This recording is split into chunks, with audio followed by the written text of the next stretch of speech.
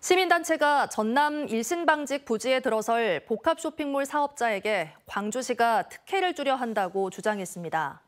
광주 시민단체 협의회는 어제 성명에서 광주 도시계획위원회가 방직 부지의 비주거 시설 비율을 15%에서 10%로 줄이는 안을 오는 26일 논의하려 한다며 이게 현실화되면 개발업체가 상가 등을 적게 지으면서 건축비 등 1,200억 원을 아낄 수 있는 특혜라고 주장했습니다.